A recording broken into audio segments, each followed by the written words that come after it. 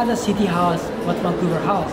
And that's what Vancouver Fashion Week is model is, Vancouver's model, which is celebrating designers from global. The venue is going to be crazy off the chart anyways because we've got so much incredible uh, decor and we've got a lot of people that put a lot of work into it. It's going to be fabulous. The designers, we're lucky to be in a business where our job is depending on highlighting others, putting them on the stage, giving them a platform, and giving international designers New Market. It.